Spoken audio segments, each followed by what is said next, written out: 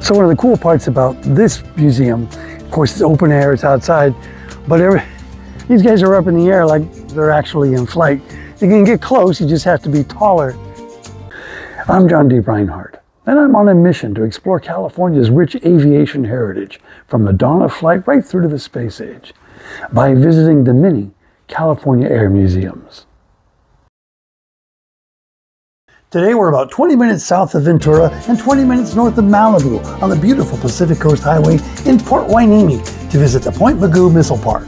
Here you'll find a McDonnell Douglas F-4J Phantom II, a Grumman F-14A Tomcat, and a Grumman EA-6B Prowler. And while the Phantom Jet and the Tomcat are mounted high on stilts in a flight attitude, the Prowler sits down here on the deck.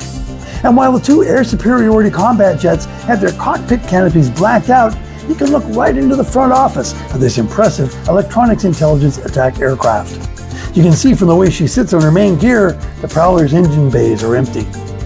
The Point Mugu Missile Park features a host of surface-to-air and surface-to-surface missiles that were tested at the Point Mugu Missile Range, now called Naval Base Ventura County, including the Regulus and Regulus II guided missiles.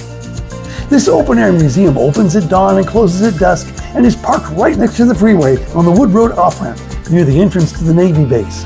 It's open air, it's free, and it's truly awe-inspiring to come and visit these important historic aircraft.